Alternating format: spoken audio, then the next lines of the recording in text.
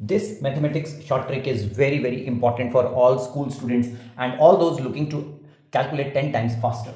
Suppose you need to find the cube root of a big number, a 6 digit number like 5, 5, 1, 3, 6, 8. Now that's a big 6 digit number right? And I have taken a perfect cube number. So make triples from the right hand side, 368 forms a triple and 155 forms a triple. Now what is the use of 368? You just have to watch the unit digit of this triple that is 8 now there is only one single digit number 2 whose cube is ending in 8 so 3 cube ends in 7 4 cube ends in 4 and likewise 9 cube it ends in 9 so only 2 its cube ends in 8 and so the answer will have 2 at the unit place. Now what about the tens place?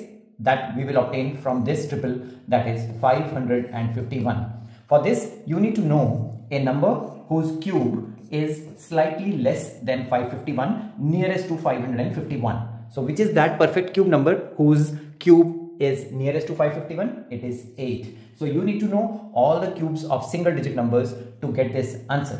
And because 8 cube is 512 which is less than 551 and therefore this 8 forms the 10th digit of your answer and now pick up the calculators and check 82 times 82 times 82. Is it 551368?